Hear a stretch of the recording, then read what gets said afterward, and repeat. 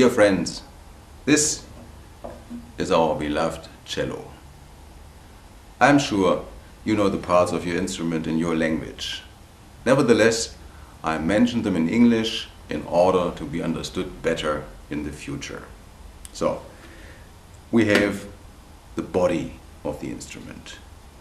The body consists of the front. Then the back. Going around the instrument we have the ribs. These holes are called, due to their shape, F holes. Then you see the neck of the cello. On top of the neck we have the scroll. At the lower end of the instrument we find the end pin. The four strings go from the four pegs over the bridge to the tail piece. This black board we put our fingers on we call fingerboard. Finally we use the bow.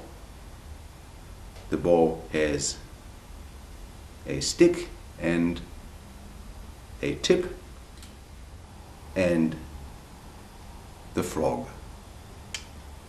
The hair, the bow hair and finally a screw. We tighten the bow hair with that screw in order to be able to play or if we don't want to play we loosen it. Now you sit down comfortably on a simple chair and pull out the end pin so that the left knee can disappear behind the lower edge of your instrument.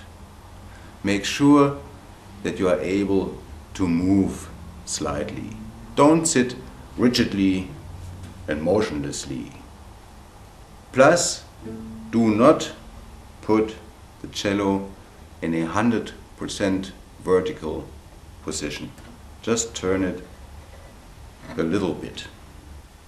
The first steps we do in the field of cello playing we dedicate to the two hands separately. First, the right hand. The most important stroke, or I should say the most important principle, is the so-called straight bow. Straight means here a 90 degree angle between string and bow. Since our bridge is curved, the position of a straight bow is different on each string. So put your bow on the strings and find out how a straight bow looks like from your position as a player. Do it on all four strings. Take the bow and put it on the A string. Just experiment a little bit. What should be a 90 degree angle? Something like that. Then you go on the D string. Do the same thing.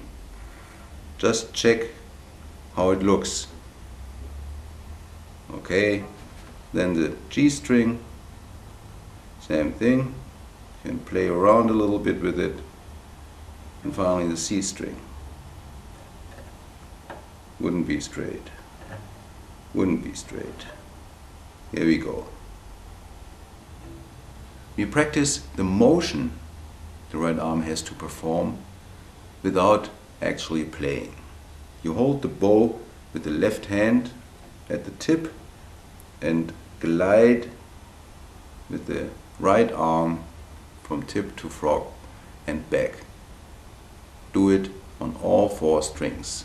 So you hold the bow in a almost 90 degree angle on the A string and find out how this motion feels like, what your right arm has to do. Then you go on the D string, same thing, almost 90 degree angle and glide up and down with your right hand. Then you go to the C, G string, sorry, same thing. Finally, the C string. And you notice that the motion on the C string is quite different from the motion of the A string. On the A string your arm has to go out quite a lot. On the C string it goes back. So, from the very beginning, watch out for this difference. Do that very often, very often on each string. Get used to the difference of the movements. You should develop the feeling of following the characteristics of your bow, not vice versa.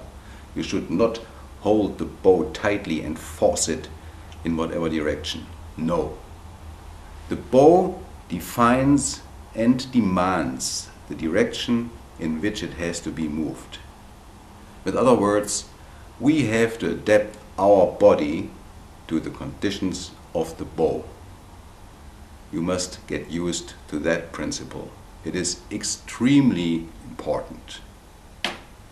To develop a bow grip with the necessary flexibility and agility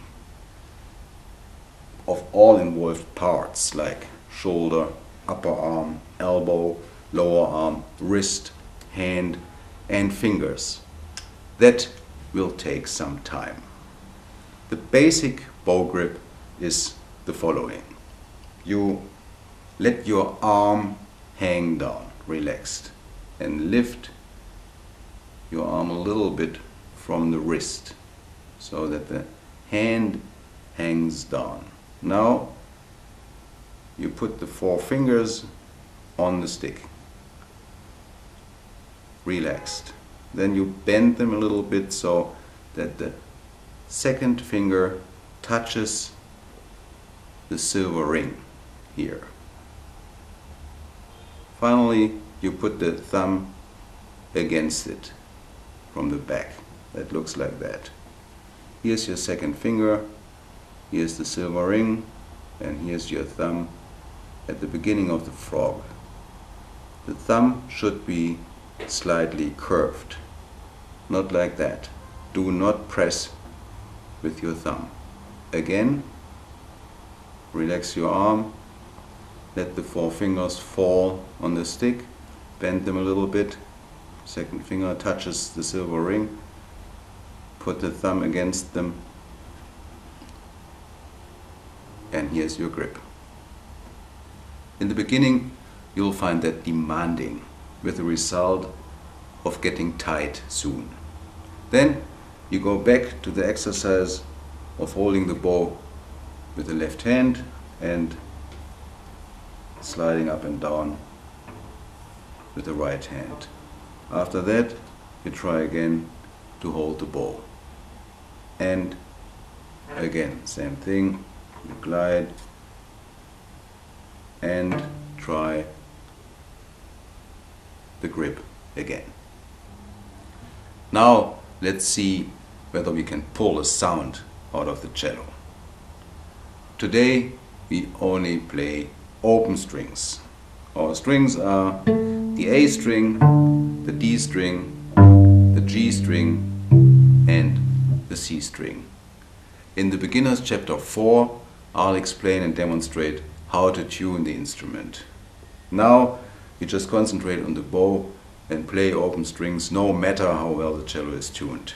Don't play too close to the bridge and don't play over the fingerboard. Find the point where you can easily produce a decent sound. The direction from left to right we call down bow. The other direction from right to left, up bow. Now you practice the following exercises. Okay, we start with the whole bow, one down bow, one up bow on one string.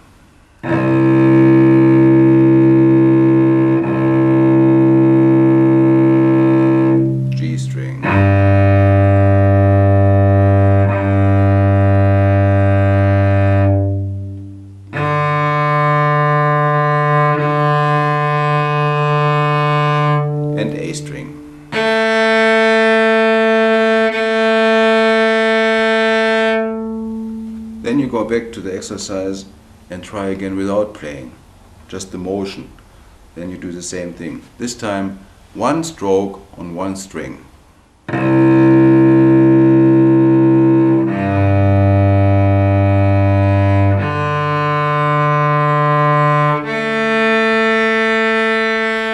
And back.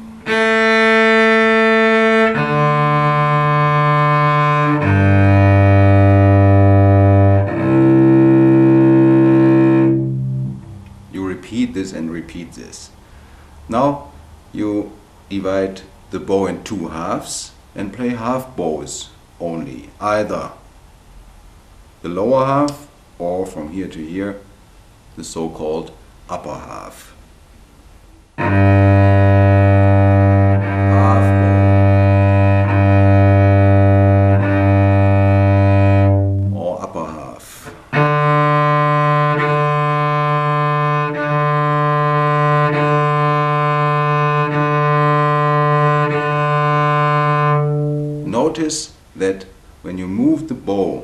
Slow tempo, the whole arm is involved.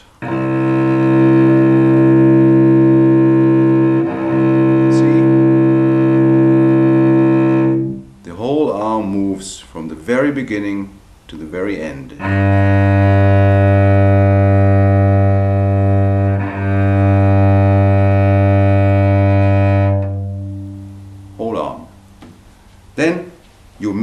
The strings. It is up to you what pattern you use. For instance, C, D, G, A, D, go back to the A,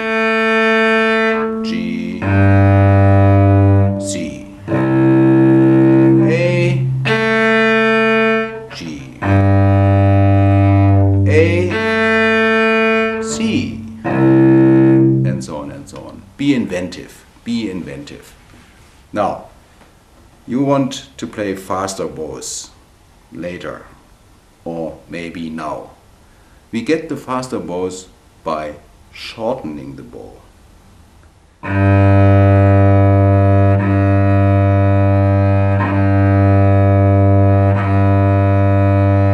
rather slow bow. Now I play the same bow speed but shorten the bow amount.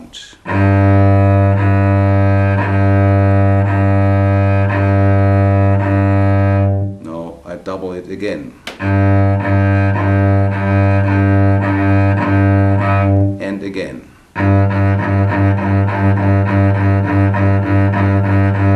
And again.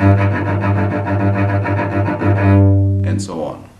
You have to realize that the slow bow is produced by the whole arm. The faster you get, you get to the fingers. You have a lower arm stroke and you have a wrist stroke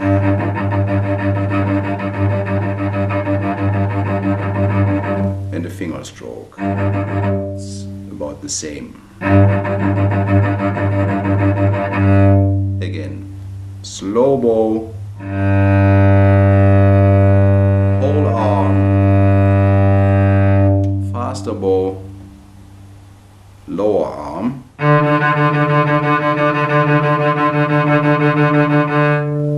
Really fast bows, wrist and fingers.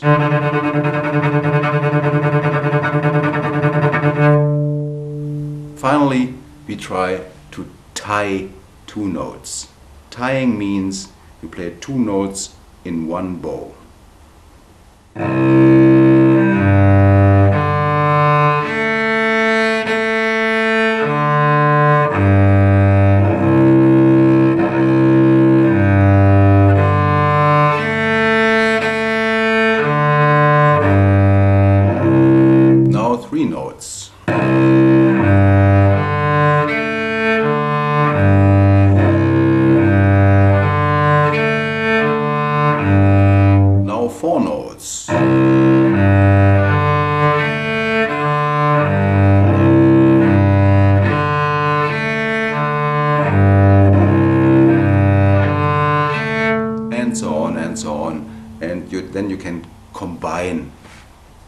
Two notes with three, if you like.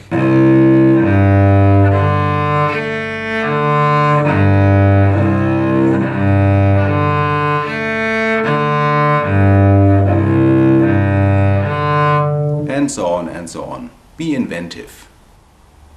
Repetition is a magic word for everything we want to control physically.